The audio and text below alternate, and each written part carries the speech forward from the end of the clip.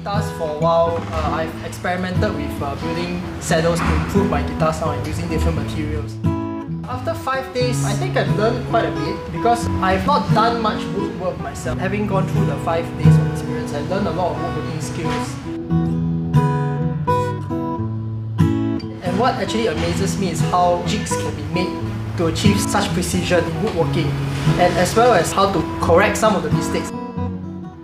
Building a guitar is not about getting a perfect guitar. If you want a perfect guitar, you might as well buy one off the shelf.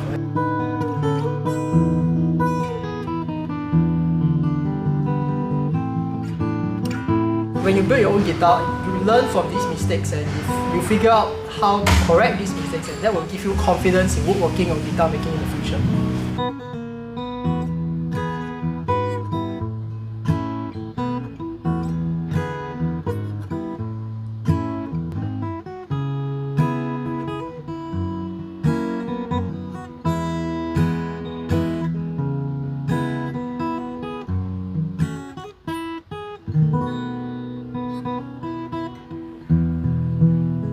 Satisfaction that you get from playing a guitar that you help to build is something that you cannot buy off the shelf. So if you're interested in the sound of guitars and the looks of beautiful wood, I recommend that you come and join the course.